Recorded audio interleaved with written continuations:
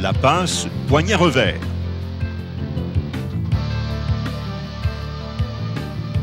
Dans ce geste technique, la rondelle quitte le centre de la lame avant de passer devant le patin intérieur. Le joueur fouette la rondelle avec les poignets en exécutant un court déplacement des mains devant le tronc.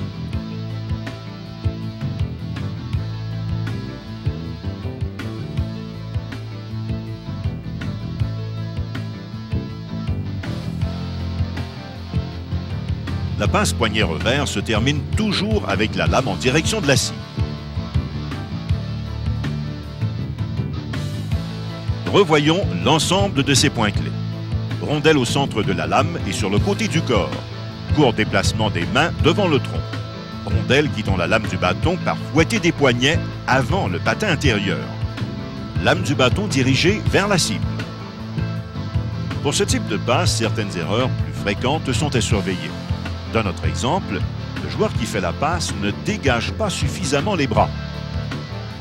Il ne regarde pas sa cible et l'angle de sa lame est mal choisi par rapport à la cible.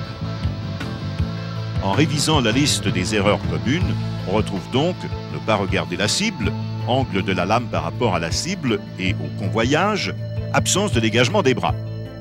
Revoyons maintenant le geste complet.